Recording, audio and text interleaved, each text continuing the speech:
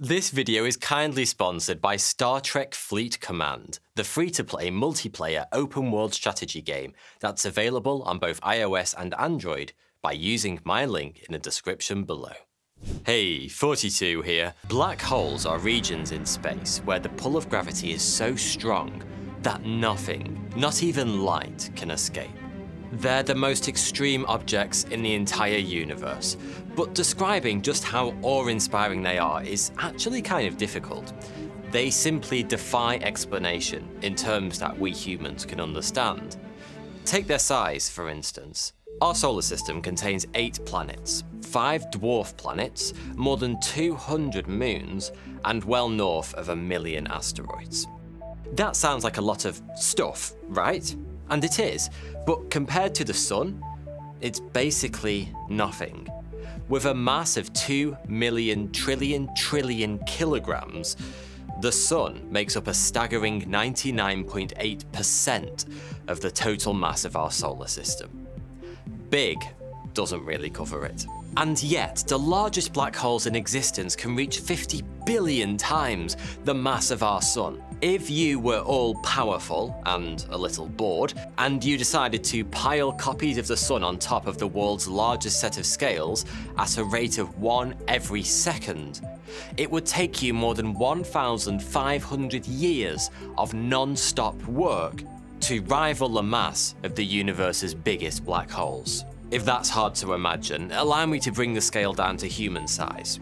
Well, rhino size. In terms of mass, the largest black holes in existence are to the Sun what a rhinoceros is to a grain of sand.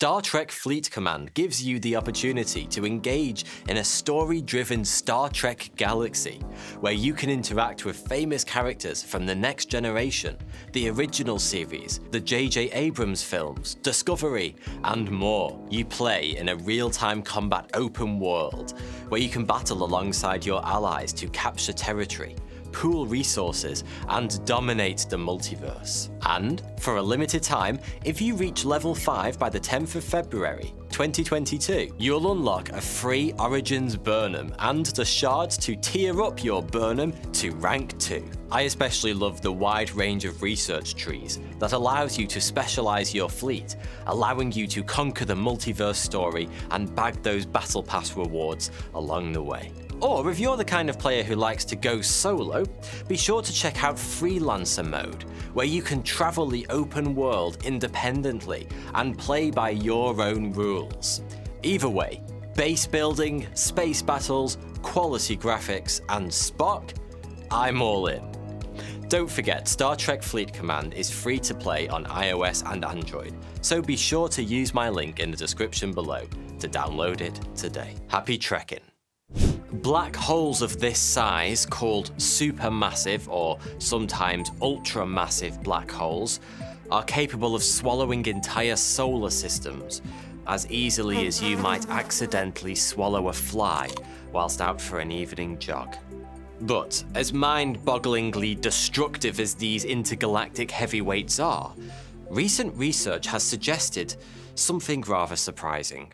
There may well be planets orbiting some of the biggest, meanest black holes in the universe. Lots of them. So, how is that possible? And more importantly, could these planets harbour life? Whilst it might seem hard to believe that habitable planets could survive on the fringes of these terrifying giants, supermassive black holes aren't quite the intergalactic vacuum cleaners most people think they are. In fact, the idea that they mercilessly suck everything around them into their gaping maws is probably one of the biggest misconceptions in our small corner of the universe. Black holes don't suck at all. Objects are pulled towards them in exactly the same way you're currently being pulled towards the Earth, assuming you are indeed watching from Earth, through gravity. So long as you don't get too close, which isn't recommended unless you like the idea of being turned into human spaghetti, the gravitational attraction of a black hole is exactly the same as that of a star of the same mass. If you were to wave that magic wand of yours and instantaneously replace the sun with a black hole of equal mass, It wouldn't suddenly devour the Earth and all the other planets. In fact, nothing would change at all. The planets would continue to happily orbit the black hole as they'd previously orbited the Sun. Of course, we'd all die slowly and horribly as temperatures plummeted and the oceans froze over, but at least it would solve that whole global warming thing. So, there's no reason why planets couldn't happily orbit a supermassive black hole. The question is, do they? It's generally accepted that planets are formed in the giant clouds of dust and gas that encircle young stars. Over time, dust particles within these clouds, which are known as protoplanetary disks, bump into one another, and, if the collision isn't too violent, they stick together. Over time, those specks of dust become a little ball, which becomes a rock, which becomes a boulder, which eventually becomes something called a planetesimal.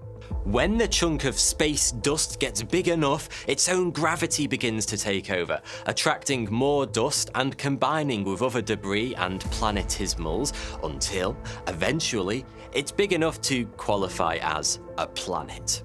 And it turns out that some supermassive black holes are also orbited by swirling clouds of dust and gas, known as accretion disks that are in many ways quite similar to protoplanetary disks. Recent research suggests that under the right conditions, planets can form within a black hole's accretion disk in much the same way they do around stars. Of course, we're talking about two very different scales here. As we've seen, supermassive black holes are much bigger than stars, and so are the clouds of dust and gas that encircle them. That means there's a lot more building material to go around. And more building material means more planets. Like, a lot more. Upper estimates predict that a single supermassive black hole could form the center of a giant black hole system containing more than 10,000 planets. Well, not planets, exactly. For reasons that are quite hard to rationalise, it seems scientists have decided to call planets that orbit black holes blanets, with a B. I do wonder if any of them have noticed that we don't call planets that orbit stars slanets. That's going to be an awkward meeting. Anyway, these planets could be strange indeed, with the largest being some 3,000 times more massive than Earth, that's about as big as a planet can get before it goes through a Pokemon-style evolution and turns into a brown dwarf. Okay, so now for the most important part. Could these colossal black hole systems and their unbelievably huge planets harbour life? Well, first, a disclaimer. Whilst I do consider myself to be relatively well travelled, I haven't yet made it to a planet, so it's pretty hard to say for sure. But since the release of Christopher Nolan's Interstellar, a film that features a planet, or blanet, called Miller's World that orbits a fictional supermassive black hole, scientists have begun to take a pretty keen interest in the topic. This isn't just some fun force experiment either. The habitability of planets could one day literally be the difference between life and death for our species but I'm getting ahead of myself. When searching for life out there in the far reaches of space, we humans tend to start by looking for planets with surface temperatures that could support liquid water. That's because, so far as we know, every single living thing in the universe requires liquid water to survive. Or at least everything on Earth seems to. We have liquid water here on our lovely big blue marble, thanks to heat from the sun, but blanets orbit cold, unforgiving black holes instead of nice cozy stars. So of course they're all just chunks of frigid rock and ice. Or are they? Actually, Probably not. You see, it turns out there are a couple of other potential sources of energy near black holes that might just be able to provide enough warmth for liquid water to exist on a blanet. It's never going to stop feeling stupid saying that word, is it? Whilst black holes themselves emit no light, it turns out the vicinity immediately surrounding them can be incredibly bright. You've probably already seen this now famous picture. the first ever taken of a black hole. That glowing ring around the outside is the black hole's accretion disk. As matter from the accretion disk is devoured by its parent black hole, it's accelerated to truly mind-blowing speeds, as much as half the speed of light. At that kind of pace, the amount of energy released through friction is astonishing. If a planet happens to be the right distance away from a supermassive black hole, the accretion disk may be able to fulfill the same role the sun does for us, providing enough warmth and light to support liquid water and therefore nurture life. That sounds great on paper, but there is one small problem. You see, accreting supermassive black holes are amongst the most luminous objects in the entire universe. The largest, known as quasars, can be thousands of times brighter than the 400 billion or so stars in the Milky Way, put together. I'm going to say that again because, quite frankly, it's insane. A single black hole can shine with the light of thousands of galaxies. Quasars can also be incredibly hot.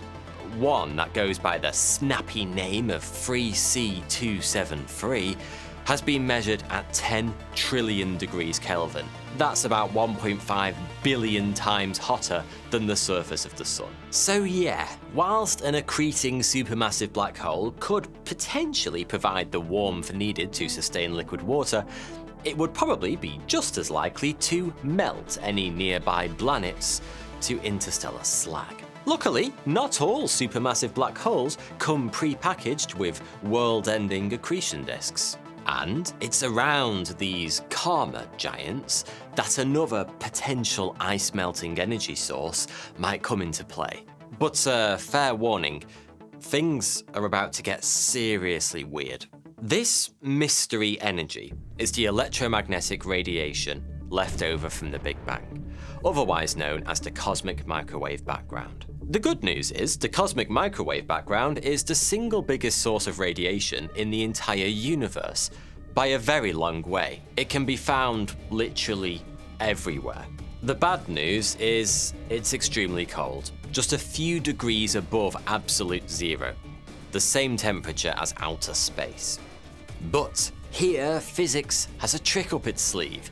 You see, as the cosmic microwave background is pulled into a black hole's gravity well, it becomes blue shifted, decreasing its wavelength and increasing its energy. Which means the closer you get to a black hole, the hotter the cosmic microwave background should feel.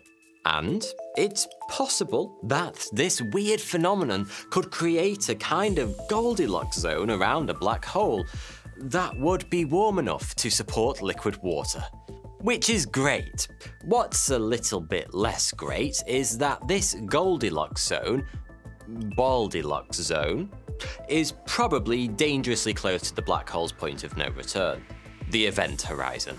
Here, the pull of gravity would be incredibly strong, and the only way for a planet to resist it would be to orbit that black hole extremely quickly, like practically the speed of light quickly, whether or not that's even possible is highly debatable, and even if it is possible, it brings with it a whole other bunch of issues. Thanks to the weirdness of special relativity, both very high speeds and very strong gravity cause time dilation. They literally make time slow down which means that time on a planet moving at close to the speed of light, just beyond the event horizon of a supermassive black hole, would move incredibly slowly, potentially tens of thousands of times more slowly than it does here on Earth. That in itself isn't necessarily an issue. Time dilation is a relative effect. You only notice it if you compare the passage of time in two different places, meaning time always feels normal from your own perspective, even if you're experiencing extreme time dilation.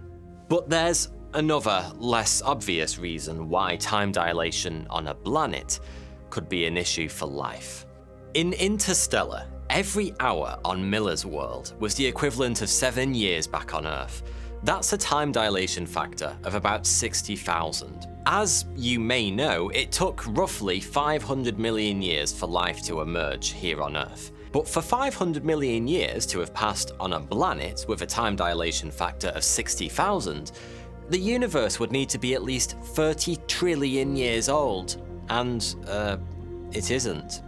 So, yeah, even if life could exist on the kind of planet where the cosmic microwave background is hot enough to support life, and that's a very big if, it probably hasn't had time to evolve just yet. The truth is, whilst there's a reasonable chance giant black hole systems are out there, exactly what they might look like and whether they could ever harbour life is still very much an unknown.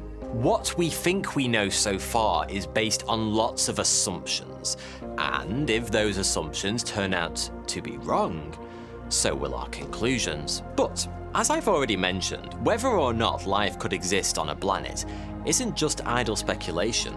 It really could be life or death to us humans, one day in the near future. About 100 trillion years from now, star formation will end. Okay, so not exactly the near future. Anyway, 100 trillion years from now, as the stars that remain begin to wink out one by one, the universe will go dark. When that happens, we humans won't have much choice but to head for the nearest black hole. After all, black holes will be the only place left to go, the last sources of energy in the dying universe. Whether or not we can actually survive when we get there is a pretty big deal. Okay, fine, maybe I'm getting just a tiny bit ahead of myself. It's not exactly a given that our species will make it through the next 100 trillion years, even the next 100 years to be honest. But hey, it's always good to be prepared. Thanks for watching.